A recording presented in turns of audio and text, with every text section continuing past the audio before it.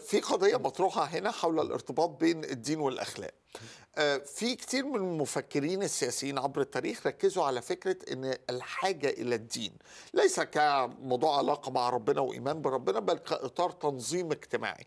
بتكلم على لوك بتكلم على جورج واشنطن في خطابه الوداعي للشعب الأمريكي كرئيس بتكلم على توكيفيل وكتاباته فاكرين كتير ركزوا على هذه الفكرة.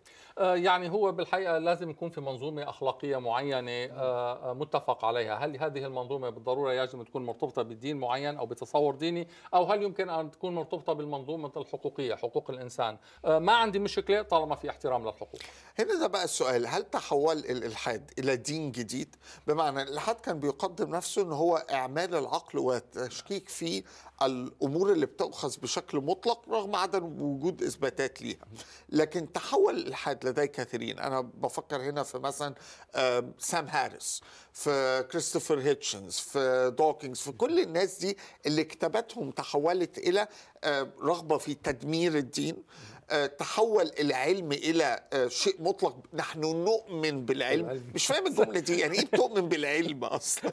يعني بالحقيقة هي هي المشكلة إنه إذا بدك تطرح الفكر آه، كدين آه، الالحاد كدين جديد معناته أنت عمليا ألحد لسانك بس لساته عقلك مرتبط بالفكرة الدينية الغيبية. آه، مشان هيك أنا بالنسبة لي إنه في أسئلة آه، لها علاقة بالمطلق المفروض تضلها أسئلة. لما بتحط عليها جواب تحولت لصنم جديد تحولت لدين جديد تحولت لعقيدة جديدة. آه، بتجنب هذا الشيء. آه، بس مو كتير سهل بالحقيقة إنه الواحد يتجنب هذا الشيء. مو كتير سهل كمان إذا كان مؤمن إنه يقول أوكي أنا رح آخذ إيماني بشكل موازي للمقاربة العلمية واثنين مو شرط يتفقوا مع بعض. هاد كمان مقاربة أخرى آه، ممكنة بالحياة بس كمان مو كتير ناس بيتبعوها في نهاية الأمر الموضوع هو اختيار شخصي لكل فرد.